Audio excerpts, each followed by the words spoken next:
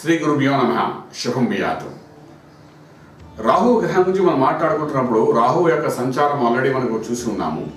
August పదిహేడు తర్వాత కర్కాటక రాశిలో ప్రవేశించున్నాడు. రాహు సంచారం వల్ల ఏంటంటే ఒకటిన్నర సంవత్సరాలు ఒక రాశిలో ఉంటాడు. రివర్స్లో తిరుగుతుంటారు రాహు కేతుడు కర్కాటకం అనేసరి అది చంద్రుడి యొక్క రాశి.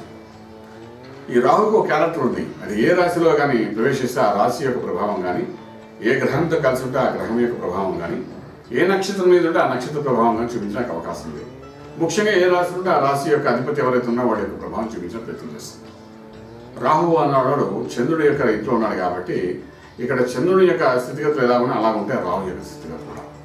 చంద్రగుణం ఎక్కువ ఉంటుంది. మనో వికాసం చేస్తుంటాడు మానసిక ఒత్తిడిని బయటపెడుతుంటాడు.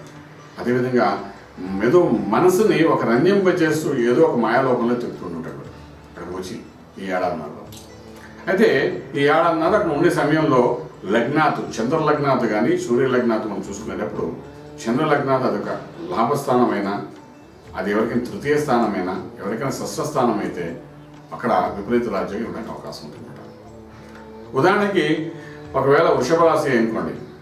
వృషభ రాశి వారికి మూడో స్థానం విక్రమ స్థానంలో వచ్చినట్టు రావు. వచ్చాడు కాబట్టి మోర్ డైనమిక్ మోర్ సక్సెస్గా ముందు తీసుకోవడానికి అవకాశం ఉంటుంది. ఎప్పుడు నుండి ఆగి ఉన్న ఎన్నో పనులు సక్సెస్ఫుల్ అవ్వడానికి అవకాశం ఉంటుందన్నమాట అదేవిధంగా మనం కుంభరాశి తీసుకున్నాం కుంభరాశికి ఆరో స్థానం అవుతుంది. ఆరోగ్య స్థానం ఒక పక్క తర్వాత ఆరో స్థానంలో ఉండడం పాపగ్రహాలు శుభాన్ని సూచిస్తాయి కాబట్టి కుంభరాశి వారికి కూడా ఈ రాహు యొక్క సంచారం ఏదైతే జరిగిందో కర్కాటక ప్రదేశం అనేది ఒక లాభదాయకంగా ఉండడానికి అవకాశం ఉంటుంది. ఒకటి సంవత్సరాలు. అనుకోని పనులు ఎన్నో జరగడానికి అవకాశం ఉంది. ఆర్థికంగా మంచి బలోపేతం అవడానికి అవకాశం ఉందన్నమాట అదేవిధంగా మనం తీసుకున్నప్పుడు కన్యా రాశి వారు. కన్యా రాశి వారికి లాభస్థానం అయిపోతుంది. కన్యారాశి కన్యా రాశి వాళ్ళు ఎప్పుడు వ్యాపార రంగంలో ముందుకు వెళ్ళడానికి ప్రయత్నం చేస్తారు. వ్యాపార రాశి అని చెప్తున్నాం మనం.